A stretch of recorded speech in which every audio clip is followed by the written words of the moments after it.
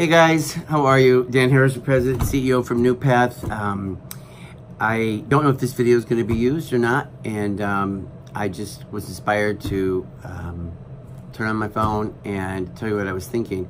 I'm actually here in the office, kind of on the late side, um, and I am signing or looking at letters that are getting ready to go in the mail um, uh, for our annual appeal.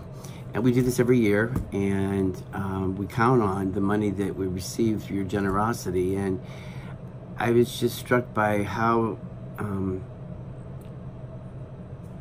just how grateful I am when I think of the hundreds and hundreds of people that give so consistently every year. Um, you know, this is the money that, along with our walk campaign, really allows us to do some of the truly more innovative and creative things that we do in our in our efforts to make NuPath the absolute best organization it can possibly be, and and that's what we want, and um, that's not cheap.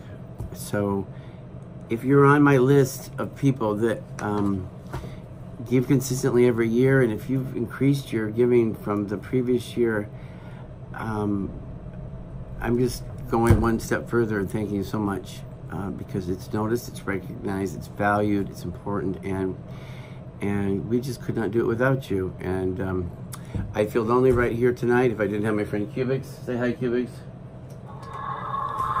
So Cubics and I want to express our thanks, and um, we'll be in touch.